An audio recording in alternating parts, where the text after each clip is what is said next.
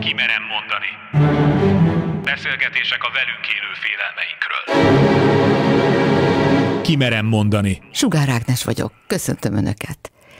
Széles Tamás ókatolikus pap a kezdetektől, vagyis két hónapja része annak a beszélgetői körnek, amelynek tagjai hétről hétre fejtik ki gondolataikat itt a Kimerem mondani adásában. Megszokhattuk, hogy az életünket behálózó, olykor megbénító félelmeinkről, az azokkal való bánásmód mikéntjéről Széles Tamás letisztult gondolatokkal mélyen elkötelezett egyházi emberként nyilatkozik. Bevallom, a sorozat indításakor a bemutatásnál dilemmát okozott nekem, hogy elmondjam-e, hogy Széles Tamásnak a lelkészi hivatása mellett már azt megelőzően volt, van egy másik hivatása is. Hogy tulajdonképpen hallgatóink közül nagyon sokan ismerhetik, találkozhattak már vele színházban, vagy éppen külföldi filmek szinkron hangjaként. Széles Tamás ugyanis színész is.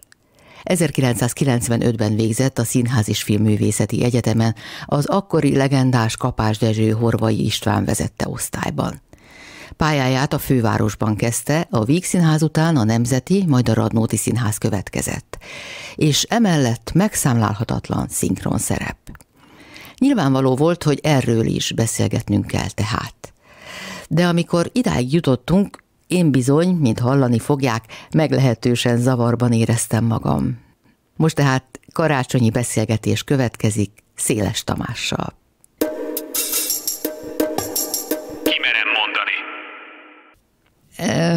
Nem tudom, hogy honnan kezdjem, mert nagyon nehéz átváltani nekem is arról a mesdjéről, amin eddig haladtunk, a szentségről, a kereszténységről, a hitről való beszélgetésből, a színművészet világába. Segíthetek Melyik akkor? volt? Igen, mert itt kínlódom. Hogy van ez?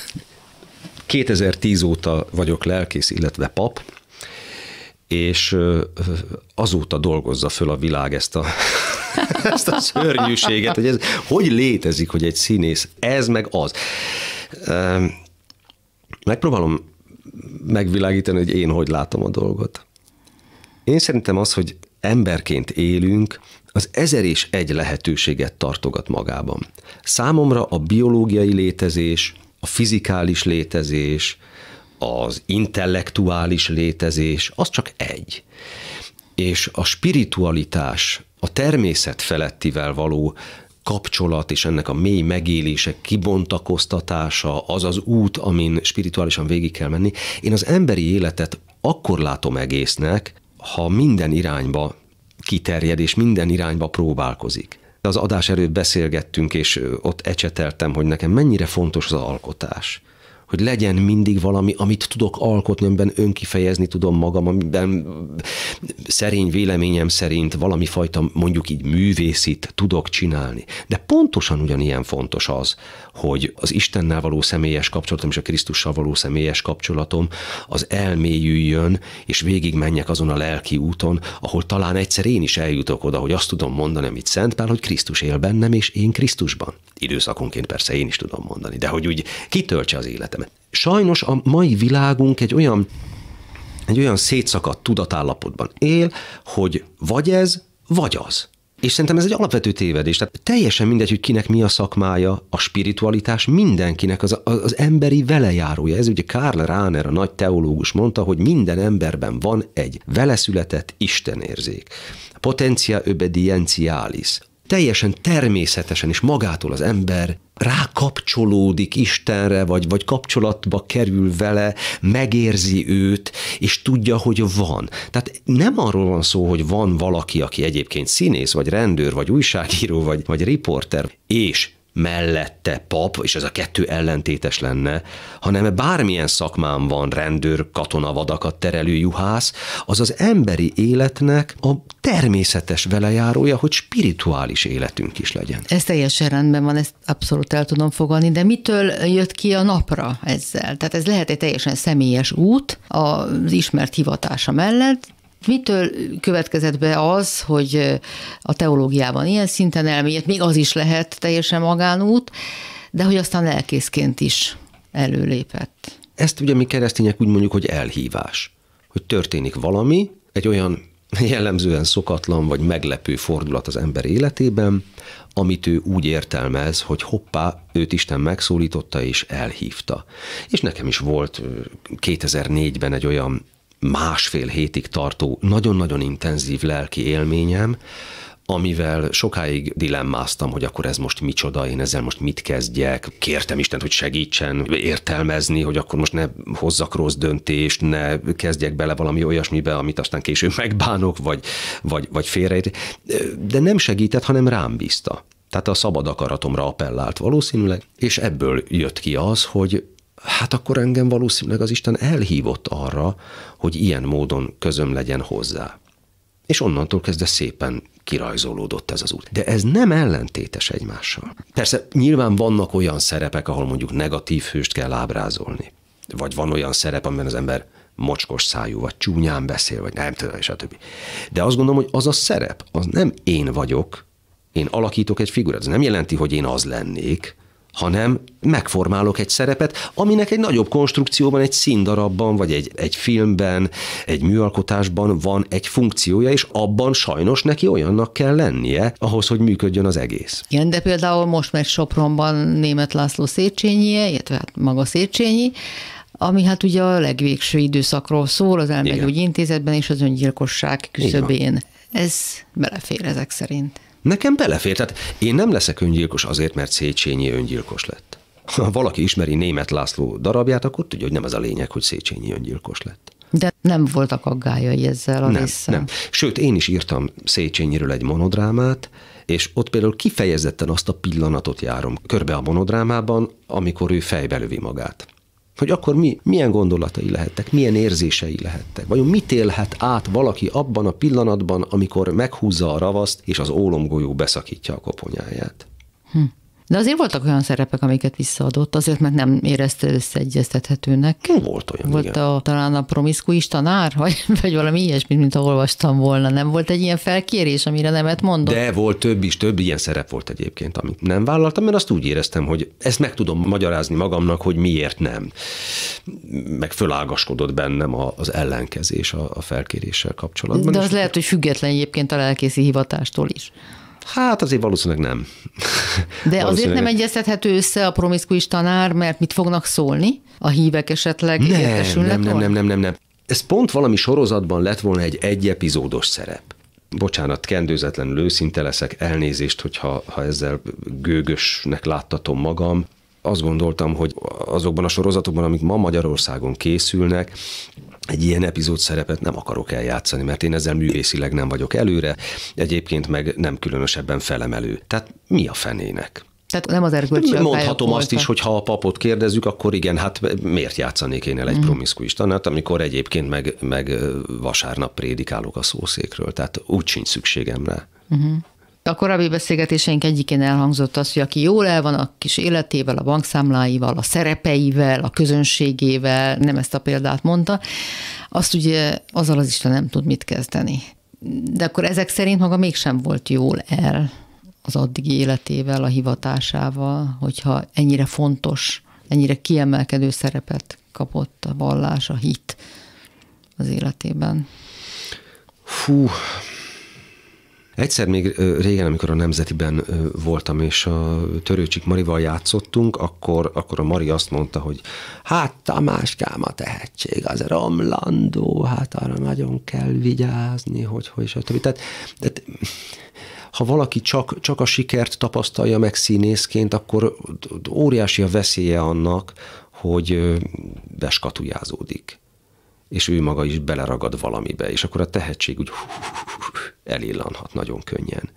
Szerintem minden gyakorló színész tudja, hogy, hogy folyamatos fejlődésre, vagy valami fajta szakmai előre haladásra van szükség. Olyan rendezőkre, meg olyan munkákra vágyunk, amik csinálnak velünk valamit, amik kimozdítanak. Egy, picit a korlátainkat, nem, nem sokkal, de egy picit legalább arrébb tudjuk tenni, vagy át tudunk rajta kerülni, át tudunk lépni. Ha nem ez van, hanem az van, hogy hú, de jó vagyok, hú, de jó, mekkora siker. Ott, hát, ott akkor És ez volt? megáll a dolog. A siker, siker hátán? Nem, nem, nem, nem. Én őszinte leszek, én soha nem tudtam elhinni magamról azt, hogy én jó vagyok. Hmm. Én, én mindig a kudarctól és a sikertelenségtől szenvedtem, de rettenetesen a, a színészi pályámon. És most is. De miért? Egy, egy orvosnál nagyon egyszerű a dolog, mert vagy meghal a beteg, vagy, vagy. meggyógyul. Okay. Tehát a dolog lemérhető. Ehhez képest ez a szakma, ez arról szól, hogy tetszik, vagy nem tetszik. És mindig van, akinek tetszik, és mindig van, akinek nem tetszik. Most innentől kezdve nincs benne semmi, de semmi objektív. De számít? Igazság szerint, hogy nekik mennyire tetszik? A mérce jó esetben belül van, nem? Hát irigylem azt, aki ennyire magabiztos, vagy ennyire magabiztos tud lenni magában szakmailag. Én nem tudok, tehát egyrészt a közönségnek a, a tetszése is fontos, a, a másik pedig a szakmai reputáció, ami, ami nagyon fontos, hogy, hogy az ember hol helyezkedik el a szakmájában, ha egyáltalán elhelyezkedik benne valahol. Ugye Tamás Szabadúszó 2002 óta volt Radnóti Színház, volt Nemzeti Színház, Víg Színház, Víg Színház kezdtem, Vígben kezdtem, igen, a főiskola után, de már nagyon régóta, most a 20 éve lassan, igen, a szabadúszás. Igen, igen, igen. Ez azt jelenti, hogy nem az a típus, aki könnyen, könnyen helyezkedik? Vagy inkább a szabadság élményét kereste ezzel? Hát amikor a szabadúszást választottam, az pont az az időszak volt, amikor megnősültem, amikor gyermeket vállaltunk. Tehát komoly fordulaton ment át az életem, és kellett az a szabadság, hogy, hogy apuka tudjak lenni, hogy férj tudjak lenni, meg a feleségemnek is a vállalkozását elindítottuk, elkezdtük. Én nagyon vágyom a társulatra, nagyon vágynék egy alomra. De megmondom őszintén, ami a társadalmunkat akár politikailag jellemzi, ez a borzasztó polarizálódást, szakmánkban is ez van. De a 90-es években még emlékszem, hogy összetudtunk kacsintani mi színészek egymás között, és mi összetudtunk nevetni, és tudtuk, jó van, ez is hülye, az is hülye, ez ilyen igazgató, az olyan rendező, na de mi színészek legalább összetartunk. És most már azt látom, hogy nem. Olyan szinten polarizálódott itt is a jobb, a bal, ilyen politika, az olyan politika, a nem. Te ebben nem nagyon tudok és nem is akarok beleállni. Senkinek nincs igaza. Vagy én legalábbis nem látom az igazságot. Sajnos azt látom, hogy mindegyik oldalon politikai hovatartozásból kovácsolódik a szakmai tőke. Innentől pedig a szakmai reputációt is megette az ördög. Mert akkor hogyan bízzak abban, vagy annak az értékítéletében, aki közben a maga értékrendszerét kőkeményen, vagy egyre szélsőségesebben köti hozzá valamilyen értékhez. Ez nagyon szomorúan hangzik. Realistának tartom. Hm. Megfarult a fejébe, hogy abba hagyja? Ó, folyamatosan, persze másodikos színművészet is voltam, amikor a könyvtárban oda mentem a Kornis Mihályhoz, és mondtam, hogy tanár úr, én azonnal abba akarom hagyni, és akkor de Mityu fölnézett az újsághoz, hogy nagyon helyes, jól van, hagyja. De aztán, de aztán nem hagytam abba. Persze, folyamatosan abba akarom. Egyáltalán miért lett színész? Gimnazista voltam, amikor elvetődtem a Mezei Dani, aki aztán sportújságíró lett, tévésportkommentátor lett, járt egy diák színjátszóba, a Harlekin stúdióba, és oda levitt magával. Én nem akartam színész lenni. És hát annyira jól éreztem magam. Olyan jó volt, meg olyan jó csapat volt, meg olyan jókat játszottunk együtt, meg meg egy. És akkor azt mondtam, hogy hát akkor én ezt megpróbálom. Fölvételiztem a színművészetire, fölvettek, az lettem. Na, de ez biztos nem volt ilyen egyszerű. Ha de ez, ez ennyire, ennyire egyszerű volt. A felvétel az lehet, de érzelmileg azért ez biztos nem volt ilyen könnyű út. Utána volt nehéz, mert amit én a, a diák színjátszóban megtapasztaltam, az egy ilyen babarúzsa színűre festett, vattával kibéler, nagyon, nagyon jó dolog volt. És aztán rájött, a színházi szakma az nem ez, az egy, az egy brutális világ, az, az, az egyáltalán nem egy ilyen komfortos barbilak. Mi a legnehezebb benne? A színész létben? Teljes kiszolgáltatottság. Totális kiszolgáltatottság, pláne szabadúszóként. A fiam most a nyáron, illetve hát most azért még hétvégén is egy-egy napot az egyik gyors étterem láncnál dolgozik és lelkendezve mesélte, hogy hát képzeld, apa, most ugye most már a csomagolást azt már tudom, most már beállítottak kasszázni, de a konyhán is voltam, hogyha ha mind a hármat tudom, akkor én lehetek oktató. Ha már vagyok oktató, akkor utána lehetek junior menedzser. Hogyha junior menedzser voltam, akkor már lehetek nem tudom mi, és folyamatos fejlődési, előrelépési lehetőség van. Megválasztották a vagy a hónap dolgozójának, kapott fizuemelést, stb. stb. stb. És ez őt inspirálja. És ez a mi szakmánkban teljesen lehetetlen. Nincs. Semmi ilyesmi nincs. Nincs előrelépési lehetőség. Tehát annak, hogyha az ember jól eljátszik egy szerepet ma Magyarországon egy színházban, mondjuk egy kőszínházban, vagy rosszul eljátszik egy szerepet egy kőszínházban, se pozitív, se negatív következménye nincsen. Ez nem lehet, hogy azon múlik, hogy én belelátom-e a lehetőséget, hogy egy következő szerep ugyanennyire behúzzon, bevonjon, abban ugyanennyire megmerítkezzem, mint az előzőben, vagy még jobban. Csak próbálok azokra a gondolatokra visszatérni, amit az elmúlt hetekben sorjáztunk, hogy milyen fontos, hogy, hogy mi mit gondolunk arról a helyzetről, amiben vagyunk. Ha, ha spirituálisan közelítek hozzá, akkor természetesen igen, akkor tökéletesen igaza van. Ha úgy nézem, hogy majd nekem valahogy meg kéne élnem, vagy nyugdíjam is kéne, hogy legyen a, a színészetből, akkor picit árnyaltabb a kép, vagy bonyolultabbá válik a kép. Vissza az ókatolikusokhoz, ez nem jelent főhivatást, ez a lelkészség? Az ókatolikusoknál van egy érdekes dolog, ami nem jellemzi a kereszténységet. Jézus azt mondta Máté evangéliumában, hogy ingyen kaptátok, ingyen adjátok. Ebből kifolyólag mi nem kérünk és nem fogadunk el pénzt. Tehát nálunk minden ingyenes. Nincsen stóladi, nincsen egyházadó, nincsen tized, nincsen járulék, a temetés, az esketés, minden, minden ingyenes. Viszont ennek van egy következménye, hát hogy a papoknak valamiből meg kell tudniuk élni. Ezt hívjuk bivokális lelkészségnek, vagyis amikor valaki kettős elhívásban él, tehát egyszerre van egy civil szakmája, és ugyanakkor van lelkészi feladata és munkája is. Ha valamire szüksége van a saját szolgálatához, uram, bocsá, egy kehely, vagy miseruha, vagy teljesen mindegy, ostját kell venni, akkor szépen a saját pénzéből, fizetéséből megveszi, és nem a hívek zsebében turkál, és nem onnan kotorja össze a filléreket.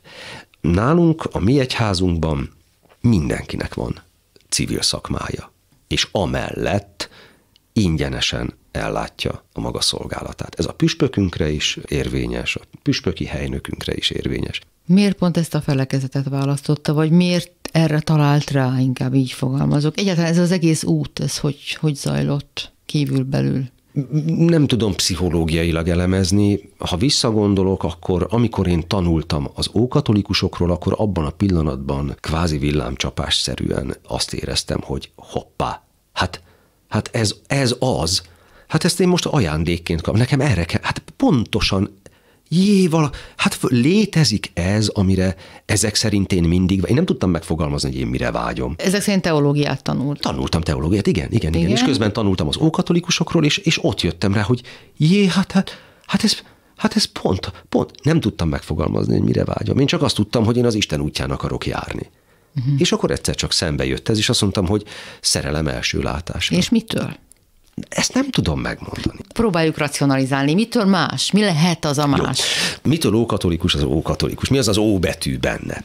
Az ókatolikusok azt mondják, hogy amíg a kereszténység egységes volt, vagyis az első ezer évben a nagy kelet-nyugati egyházszakadásig 1054-ig, addig létezett igazán a katolikus egyház. Mert a katolikosz az azt jelenti, hogy egy egyetemes, általános, mindenre, mindenkor érvényes.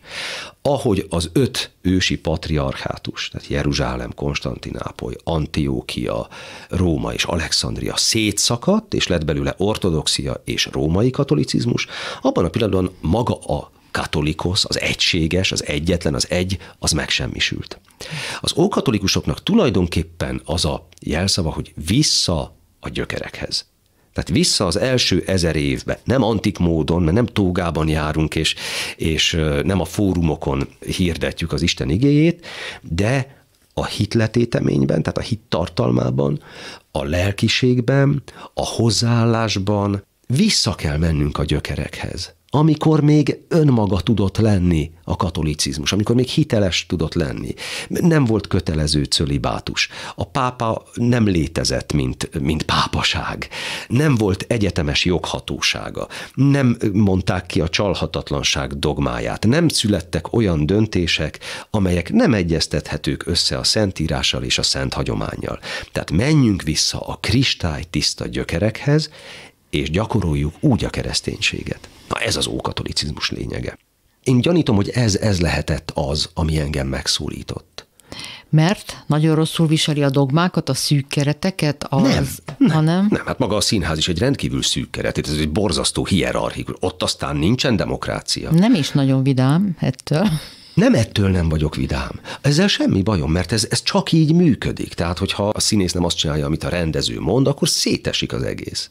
Tehát az nem tud máshogy működni. Nem, én azt hiszem, hogy a, a színház mai magyar társadalmi beágyazódása és az az életpályamodell, amit ebben a struktúrában, ebben a politikai polarizáltságban meg lehet élni és át lehet élni. Nekem ezzel van a bajom. Vagy ebben nehezen találom meg a helyemet, vagy az örömömet és a boldogságomat, vagy a, a személyes alkotási teremet. És akkor az ókatolikusok útján mi volt, ami felszabadítóan hatott?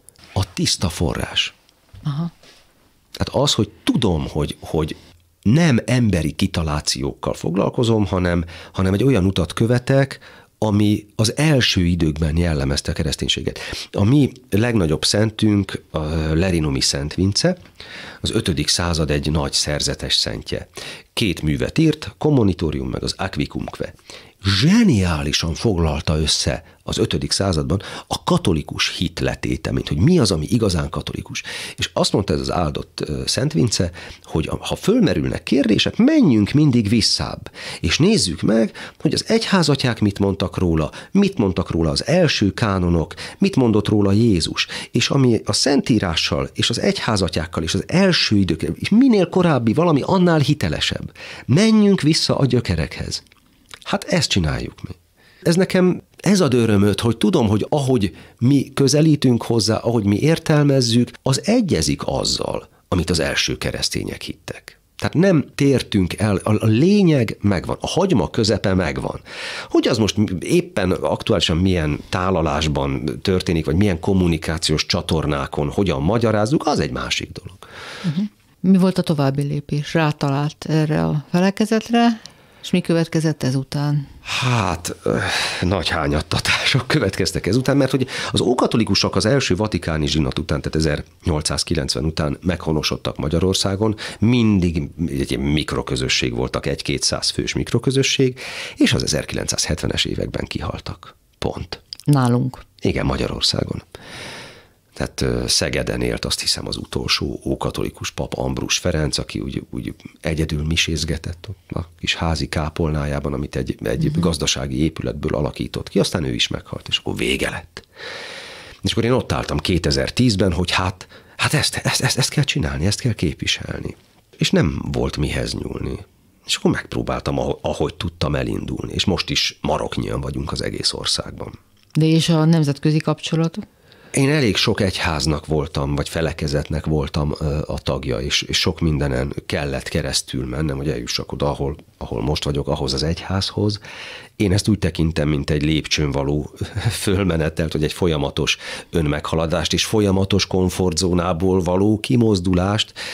Az adott pillanatban lévő lehetőséggel próbáltam élni, és amikor egy jobb lehetőség következett, ahol mindig az volt a szempont, hogy melyik hitelesebb, melyik van közelebb az eredeti ókatolikus elgondoláshoz, az igazi ókatolikus gyökerekhez. Tehát mindig ez a szempont vezérelt. Melyik van közelebb a Szentíráshoz, melyik van közelebb Istenhez, melyik Krisztusi, melyik hitelesebb. Úgy lépegettem előre. Nagyon-nagyon nehéz volt. Tehát amikor, amikor egy fecske nyarat akar csinálni, és most melyiknek a tagja? Az ókatolikus família, ha szabad így mondom, egy meglehetősen ágazó és bonyolult társaság. A legnagyobb ókatolikus közösség az az Ütrechti Unió, amiből kivált a lengyel nemzeti katolikus egyház, és aztán létrejött az északi katolikus egyház, és ők ketten megalkották a Scrantoni Uniót. Ez az ókatolikusoknak a konzervatív ága, és a minoritás a kisebb társaság. Azért alakították meg a Scrantoni Uniót, ahová én is tartozom, mert hogy az ütrechtiek elkezdtek olyan dolgokat behozni az ókatolicizmusba, azonos neműek megáldása, nők pappá szentelése, és a többi, és a többi, ami megint csak nem egyeztethető össze az eredeti, az első ezer év hitével.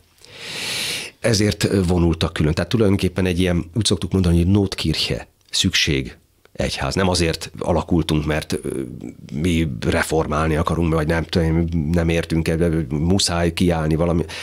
Egyszerűen nincs már, nem volt más lehetőség. Én ennek a Scrantoni Unionnak vagyok a, a papja. Azt észrevettem már, hogy azért megfogalmazásában, kommunikációjában a dolog nagyon is modern, nagyon is haladó, nagyon is elfogadó. De például itt most szóba esett az azonos neműek házassága. Például az ilyen kérdésekkel hogy, hogy van? Nem házasítjuk az azonos neműeket. De az is hozzátartozik, hogy nem szenvedélyünk turkálni az emberek magánéletében. Most a személyes meggyőződésemet fogom elmondani. Biblikusan is le tudom vezetni, csak az hosszú és bonyolult, de szívesen megteszem, hogyha gondolja. Mondok egy példát. A farizeusok megkérdezték Jézustól, hogy szabad-e elválni, mire Jézus azt mondta, hogy nem, kivéve paráznaság esetét. A mi biblia fordításaink pontatlanok mert a Biblia eredetiének a kereszténység konszenzusosan az ógörög szövegeket tekinti. De Jézus nem ógörög volt, hanem galileai arámi. Tehát ő arámiul beszélt a tanítványokkal együtt. Tehát föltételezhető, hogy eredetileg létezett egy arámi vagy evangélium, vagy szájhagyomány, amely aztán átvándorolta az ógörög nyelvbe, és akkor leírták az evangéliumokba. Most ezt gondoljuk el, hogy valaki Petőfi Sándort akarja tanulmányozni, és mondjuk elkezdi oroszul olvasni a Petyofi verseket. Hát, hogy pontosan magyarul mire gondolt Petőfi, azt leginkább magyarul lehet megérteni. Tehát először meg kéne tanulni a magyarul, és akkor megérthetni, hogy mit akart Petőfi. Mert valamennyit közöl az orosz fordítás is, de könnyen belátható, hogy hát a kettő azért valószínűleg nem azonos, pláne, hogyha műfordítás. Tehát sok árnyalat alatt elveszett. És ez, ezektől hemzseg a, a Szentírás. Én személyesen nagyon szeretem és előnyben részesítem a pesítát, vagyis az arámi nyelvű szentírást. Konkrétan például a vállással kapcsolatban egy olyan igét használnak a farizeusok, és Jézus is ebben az általam felidézett vagy emlegetett részben, ahol distinkció van a hagyományos zsidó vállólevéllel történő elválás, ami ugye elfogadott volt a mózesi törvény szerint, és az asszony eltaszítása között. És itt a sbak igét használják, ami az eltaszításra, ellökésre vonatkozik. Ez nekünk ismerős lehet, mert Jézus utolsó szavai a keresztelen, ez az éli éli lama sabaktáni, itt is a sbák ige szerepel, hogy Istenem, Istenem, miért hagytál el engem, csak nem elhagyni, hanem eltaszítani, ellökni értelemben szerepel. Tehát amikor Jézust a vállásról kérdezik, akkor valójában, legalábbis a Peshitta, az arámi nyelvű szentírás szerint arról faggatják a farizeusok, hogy szabad-e eltaszítani vállólevél nélkül az asszonyt. És Jézus nem tett általános szexuáletikai megfontolásokat, és nem hagyott ránk általános szexuáletikai tanítást, hanem a házasságot védte. Tehát ha valakinek van egy férje, vagy van egy felesége, ne csalja meg ne rúgja fel azt a szent köteléket, amit Isten színe előtt kötöttek. Tehát ez valóban felbonthatatlan. Noha mégis annak vagyunk a tanúi, hogy legtöbbször, vagy nagyon sokszor az esetek zömében sajnos felbomlik. Na most ezer egy ilyen dolog van. Tehát például az elváltakat mi ezért sokkal-sokkal rugalmasabban tudjuk kezelni, mint mások, mert hát van rá hivatkozási alapunk. És nem turkálunk mások magánéletében. Tehát az, hogy hogy valakinek milyen a nemi identitása, az valójában tök mindegy. Az nem fontos. Az az érdekes, hogy hogyan él, hogyan él vele, vagy hogyan nem él. Tehát a promiszkuitás, a kicsapongás, az akár heteroszexuális, akár homoszexuális, az pontosan ugyanúgy kicsapongás, és ugyanúgy nem helyes. A kollégák mit tudnak erről a színházban, vagy a szinkronban, akik ismerik a hát, színész Széles Tamást? Nem sokat. Én, én nem térítem a, a kollégáimat a, a, a színházban vagy a szinkronban, nem nagyon beszélgetek én, én erről. Ha kérdeznek, akkor beszélek, ha nem kérdeznek, akkor nem beszélek. És De... nincsenek olyan típusú barátságok, vagy mélyebb beszélgetések, amik bejebb visznek ezen az úton? Vagy aki érdeklődik, annak igen? Szakmai környezetben uh-huh. kifejezetten a kollégáimmal? Uh-huh. Nem nagyon van. Nem, nem. Érdekes. Nem, én a színházban pontosan ugyanolyan színész vagyok, mint mások, és pontosan ugyanúgy működöm. Ha én ott elkezdenék lelkészként viselkedni, akkor szerintem pillanatokon belül meghasonlanék. És ha a saját problémával, feszültséggel, Igen? szorongással találkozik, azt éli meg, akkor ugyanúgy viselkedik, mint egy hétköznapi ember? Persze, természetesen. Hát erre mondtam, hogy minden Schusternek Lukas a cipője. Tehát attól, hogy a klubrádióban szépeket tudok mondani, meg tudok idézni a Bibliából, vagy egy néhány okos embertől, vagy szentektől. Vagy a szószéken akár. Vagy a szószéken, attól én se jobb, se különb, se semmivel nem vagyok több, mint bárki más. És a saját életem nyomorait, az pontosan ugyanilyen nyomornak, tragédiának, szenvedésnek, fájdalomnak élem meg. Viszont, teszem azt hozzá, ha nem lennék lelkész, ha nem lennék pap, ha nem lennék keresztény, akkor nem tudom, hogy egyáltalán kibírnám-e. Nagyon érdekes, hogy a 90-es években a Hamburgi Egyetem pszichológia tanszéke készített egy reprezentatív kutatást arról, hogy a keresztény embereknek van-e bármi életnyeresége. Tehát az, hogy hit, meg vallásgyakorlat, az ad-e valamit az ember életéhez. És az az eredmény jött ki, hogy a keresztények között kevesebb, nem, nem az, hogy nincs, hanem van, de kevesebb a deviancia, jobb a probléma megoldás, sokkal könnyebb a gyászfeldolgozás, a pozitív gondolkodás és pozitív életszemlélet, az élet eseményének a feldolgozása és befogadása. Tehát tudományosan kimutatható egyfajta életnyereség.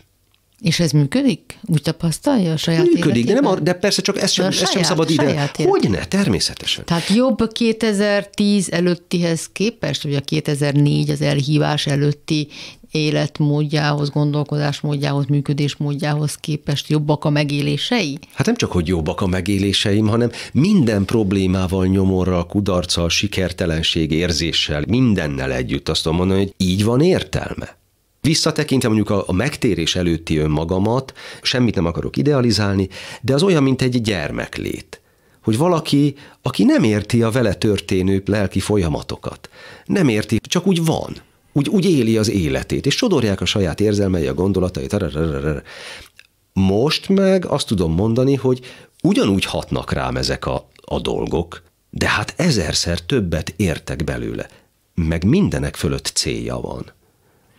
Azt mondta az egyik pszichológus az elmúlt hetek beszélgetései során, hogy nem mindig jó, ha értjük a problémáinkat, mert van, amikor sokkal inkább teher ennek a túlagyalása, a túlelemzése. Nem teljesen erre gondolok, hogy mindent a végletekig elemzek, és beteszem dobozokba, meg, meg aktákat csinálok belőle, és, és rendszerezem, hanem inkább a praxisra, az ortopraxisra, a helyes cselekvésre gondolok, hogy tudok vele mit kezdeni. Mondok egy konkrét példát, tudatosan törekszem arra, hogy minél kevesebb dolgot söpörjek be a lelki szőnyeg alá mert ugye azok időnként akkor eh, kitörnek és kontrollálhatatlanul törnek ki, és, és rángatják az embert ide-oda. Olyankor van az, hogy valaki nem érti, hogy ő miért ragadtatja el magát, vagy hogy miért jön egy abban az adott pillanatban mondjuk egy teljesen indiferens impulzus kapcsán egy dükitörés de nincsenek dükitöréseim, mert próbálok minél kevesebbet a szőnyeg alá söpörni is. És a tudatosítás itt nem azt jelenti, hogy racionálisan elemzem, hanem nem futok el előle. Nem futok el a fájdalom elől. Hát ahogy a Szentírás mondja, hogy mindennek megvan a maga rendelt ideje. Az örömnek, a gyásznak, a vigasságnak, stb. stb. No, hát így tanít a Szentírás, szembe kell nézni mindegyikkel. Az előtt voltak dükitörései? Nem, speciál nem voltak dükitörései, de nem értettem csomó összefüggést. És nem a teológiai, vagy nem a racionális tudásra gondolok, hanem arra a tudásra, amit talán életbölcsességnek lehet nevezni. Távol álljon tőlem, hogy magamat bölcsnek tartsam, de az idős ember a Szentírásban egy példakép. Már az nagy dolog, hogy valaki 30 fölött élt az ókorban. De hogyha megérte az időskort, és nem dementálódott, az, az egy nagyon nagy érték volt. A mai társadalomban az idős ember társadalombiztosítási kolonc.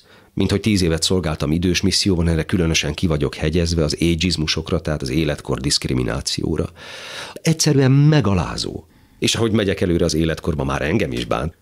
A fiatalság istenítése és hedonizálása, biológiai életünk tartson minél tovább és tartson örökké, lehetőleg és büszkék vagyunk rá, hogy az orvostudomány meg tudja nyújtani az emberi életet. Mi a fenének? Van tartalma? Mert csak akkor van értelme tovább élni, ha abban az életszakaszban olyan tartalom van, amiért érdemes élni. És ehhez képest nagyon-nagyon sokszor látom azt időseknél, hogy már csak vegetálnak 80 fölött. Mert már nincs tartalma. Egyrészt, mert a társadalom leírta őket, és azt mondja, hogy nőj, maga pihenjen, dolgozott eleget. Tehát nincs életcélja valakinek, ha nincs miért fölkelni másnap, akkor értelmetlen az élete. A lelkészi hivatás milyen, milyen új, vagy milyen más tartalmat adott? Mindig van miért fölkelni holnap. Amikor azt mondjuk, hogy mennyország, akkor ma már nem ott tartunk, mint a középkorban. Tehát nem, azt, nem úgy képzeljük el, mint egy helyet valahol a felhők fölött, hanem azt mondjuk, hogy a, a mennyország az tulajdonképpen az Isten és az ember viszonyának a minőségi jelzője. Mint hogy Isten tér és idő fölötti.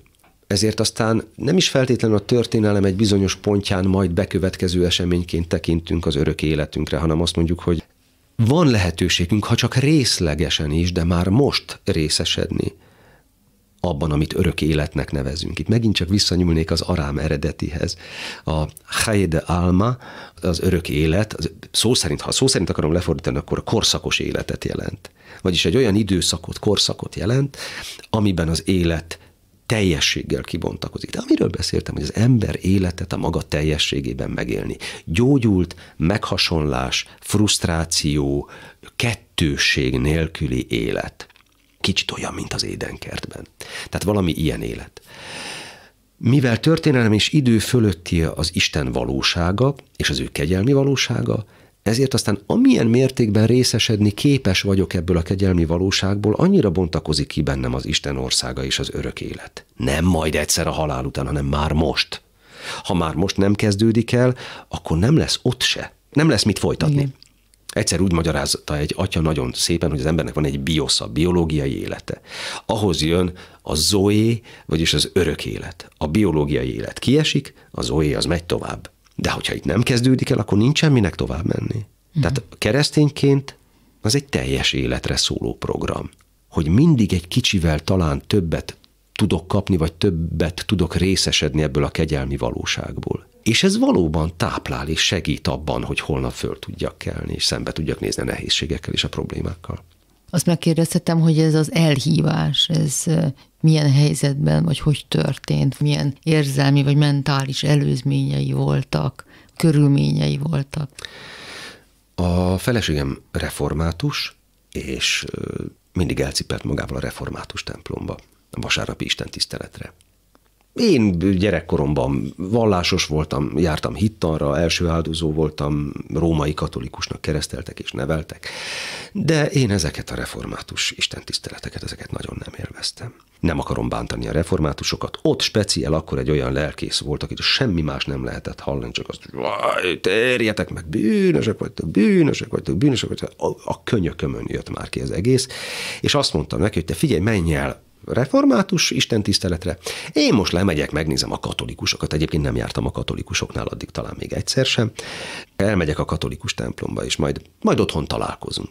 És a katolikus misét végig ácsorogtam ott hátul, nem lehetett leülni, mert nagyon sokan voltak a misén. Ment a mise, semmi különös nem volt. És amikor a papa mise végén azt mondta, hogy és az úr békéje legyen veletek, akkor engem tetőtől talpig elöntött valami forróság és valami olyan ok nélküli, megmagyarázhatatlan béke és boldogság, amit nem, nem igazán tudok szavakba önteni. Kerülném a panteizmus, de bármire néztem, azt láttam, hogy köze van Istenhez, hogy valamilyen módon, mint hogy az Isten keze nyoma, vagy a teremtő új lenyomata ott lenne benne, tehát mint hogyha élő. Másként láttam az embereket, a tárgyakat, a fákat, a füvet, a bogarat, a felhő, mindent. Nem, nem tudok rá magyarázatot. Hazamentem. Néz rám a feleségem, azt mi történt veled? Ez olyan, mintha lebegnél a föld, hogy sugárzik az arcod. És akkor elmeséltem neki, hogy, hogy ez van. És az jó, hát jó, hát akkor ez van. És ez tartott, azért tudom, hogy nem képzelődtem, mert másfél hétig tartott. És másfél hét alatt csitult le szépen lassan. Hogy ebben mi az elhívás? Azt nem lehet tudni én, én fejtegettem, és, és imádkoztam, és könyörögtem Istennek, hogy mondja meg, hogy, hogy ez mi. Ez most egy, egy pszichés élmény, vagy, vagy ez ő volt, vagy, és aztán a végén arra jutottam több hónap után, hogy én ezt úgy tudom értelmezni, hogy Isten megízleltette magát velem. Kaptam egy, egy kegyelmi falatot. Ez vagyok én, ilyen vagyok én, ilyen a kegyelem, ilyen Krisztus békéje, ilyen az Isten országa. Ilyen az, amit úgy örök életnek szoktunk mondani. Na, kezdjél vele valamit. És akkor én az egyet tudtam mondani, hogy ha ez ilyen, akkor az én életem az nem mehet tovább úgy, ahogy eddig ment, akkor nekem muszáj, hogy ahhoz közöm legyen, aki ezt csinálja, vagy, vagy, vagy közli velem. Meg akarom őt ismerni. El akarom mélyíteni a kapcsolatunkat. Akkor itt, itt, itt nem úgy mennek tovább a dolgok, ahogy eddig. És nem is úgy mentek. Mi következett ezután? Tanulás? Tanulás, de hát ez is hányattatott volt borzasztó, hogy ugye, hú, hát minden teológia, ami elérhető, az felekezeti teológia. Tehát csak valamilyen felekezetnek a teológiáját lehet megtanulni. Egyébként milyen faramuci dolog, hogy kereszténységről beszélünk, de olyan, hogy keresztény teológia, olyan nincs. Csak református van, meg evangélikus, meg katolikus, meg ortodox, meg a... És akkor mentem ide egy kicsit, mentem oda egy kicsit, itt tanultam egy kicsit, ott tanultam egy kicsit, amott tanultam egy kicsit. Aztán a végén le tudtam vizsgázni, meg egy szakdolgozatot meg tudtam írni, és utána jött a nehézség, hogy jó, de hát Magyarországon nincsenek ókatolikusok, akkor hogyan tovább? Kellett találni egy püspököt, akinek volt érvényes felhatalmazása, tehát töretlen apostoli jogfolytonossága, mert nálunk ókatolikusoknál ugyanúgy tartjuk a hétszentséget, és a Jézustól származó töretlen felszentélési láncolatot. Tehát ez a mondjuk így a kegyelmi hitele az irányzatunknak, hogy töretlen a felszentelési láncolat, és Jézusra megy vissza és akkor meg kellett találnom egy ilyen püspököt, aki fölszentelt diakónusnak, papnak, aztán elmentem másik egyházba, ott ezt nem fogadták, akkor újra szenteltek, akkor megint máshová, megint máshová, meg, meg. Már én úgy gondolom, hogy most már megérkeztem, hazaérkeztem. Hmm. Megváltozott az élete? Gyökerestől is folyamatosan változik, igen. Igen. Mivel lett több? Mivel lett más? Értelme van. Tehát ha, ha nem ismerném Istent, akkor, akkor azt gondolom, hogy tényleg csak a pillanatnyi érzelmeim rángatnának, vagy a pillanatnyi vágyakozásaim. Hm, most ezt szeretném, hm, most azt szeretném, hú, na, ez kell. Meg, ú, de jó, megszereztem, de jó, van egy, egy ilyen márkájú autóm, vagy nem tudom, ilyen márkájú ruhám, vagy mit tudom én. Tehát körülbelül ennyi, de hát így, így egészen más távlatai vannak az életemnek, meg, meg céljai vannak az életemnek és ezerszer könnyebbé vált a dolgokat elhelyezni a, a világban. Tehát amire mondtam, hogy ez a gondviselés, hogy az ember azt tudja mondani, hogy, hogy a helyemen vagyok. Azzal együtt, hogy elégedetlenkedem, mint színész, meg azt mondom, hogy nem jó így a szakmánk, ahogy van, meg a szekértáborok, meg egyiknek sincs igaza. Azzal együtt azt tudom mondani, hogy a helyemen vagyok. Van olyasmi, ami azelőtt nagyon fontos volt, és már egyáltalán nem?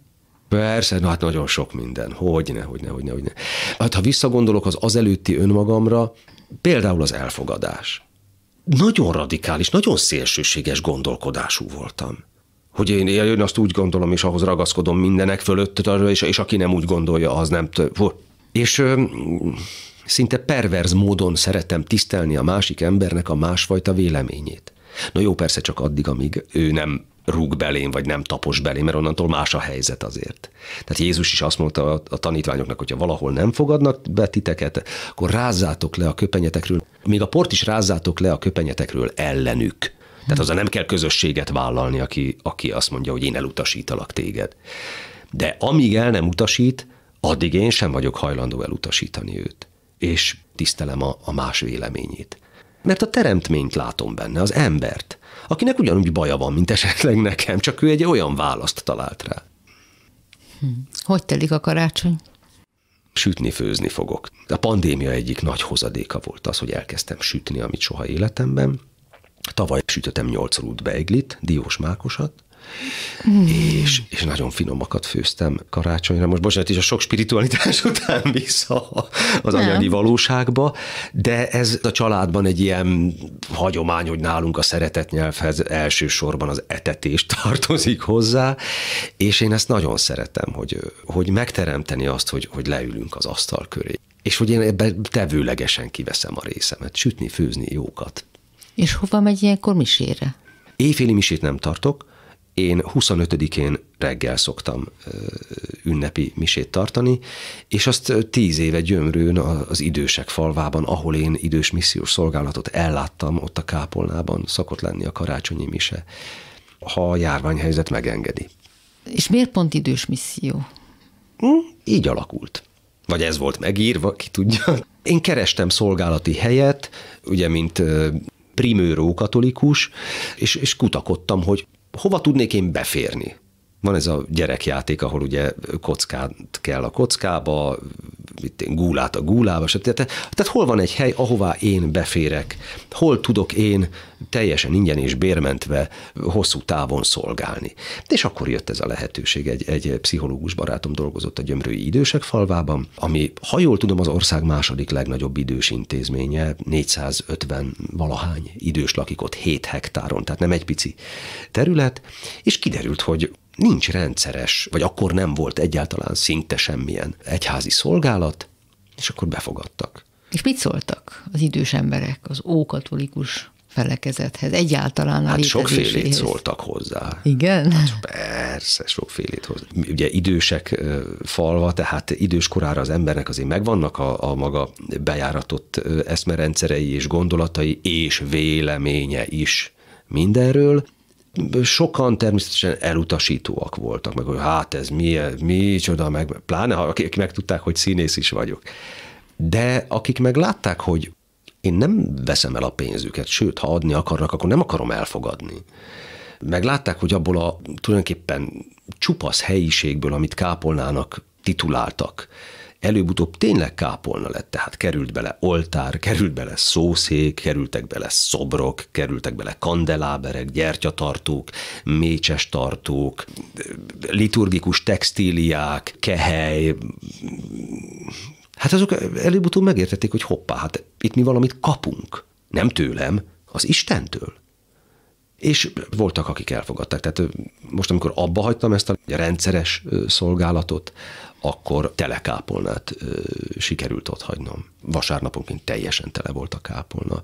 Hm. Megjegyzem mindenféle felekezetből, tehát ortodox, római katolikus, református, evangélikus, görög katolikus. Ez is fontos, hogy mi ókatolikusok minden megkeresztelt embert pontosan egyenjogú kereszténynek fogadunk el, és ezt kifejezzük azzal, hogy minden megkeresztelt hívővel megosztjuk az oltári szentséget. Tehát ha ő kéri, vagy elfogadja, vagy lelki igénye van rá, akkor mi nem tagadjuk meg tőle.